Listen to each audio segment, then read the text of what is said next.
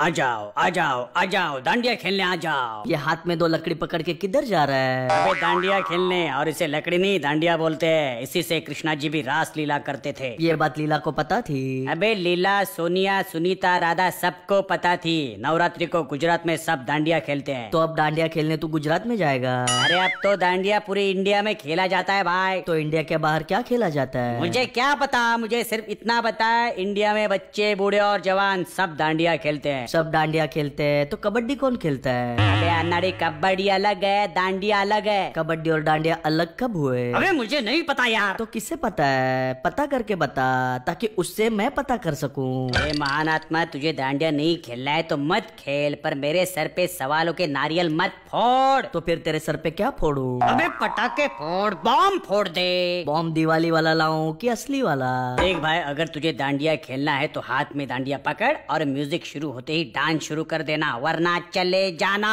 कहाँ चले जाना? अबे घर में दुकान में जहाँ तेरा दिल हो वहाँ जाना। दिल तो सीने में है वहाँ कैसे जाऊँ? तो किसी और से पूछ मुझे छोड़ दे किसी और से सवाल पूछना। क्यों तेरा आज हॉलीडे है? अरे नवरात्रि हॉलीडे तो पूरे इंडिया में है भाई। और इंडिया के बाहर? अरे मुझे नहीं पता है देख डांडिया शुरू होने वाला है। तो डांडिया खत्म कब हुआ था? अरे पिछले साल खत्म हुआ था इस साल फिर शुरू हुआ है। पिछले साल से तू यही खड़ा है घर कब जाएगा? अरे मैं अभी घर जा रहा हूँ। घर के सभी लोग तो डांडिया खेलने गए होंगे। ताला लगा होगा। मैं घर के बाहर बैठ के रो लूँगा।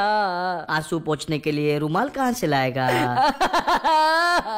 अरे रो मत। ऑडियंस को हैप्पी नवरात्रि बोल और मेरे साथ डांडिया खेल। तू मज़ाक कर रहा था? आ, मज़ाक कर रहा था? तो ठीक है। Happy Navratri to all of you